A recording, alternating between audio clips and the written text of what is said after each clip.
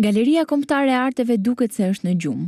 Edhe pse jemi në fund të muajit janar, ky institucion nuk ka hapur ende asnjë ekspozitë dhe nuk ka publikuar axhendën e aktiviteteve për vitin dy mijë e nëntëmbëdhjetë. Me marrjen e detyrës si titullari i këtij institucioni, Erzen Shkollolli, jo vetëm që ndryshoi emrin, nga Galeria Kombëtare e Arteve, në Muzeun e Arteve të Bukura, por shkaktoi edhe amulli në mënyrën e organizimit dhe të funksionimit të saj, duke shkaktuar edhe revoltën e komunitetit të aktorëve.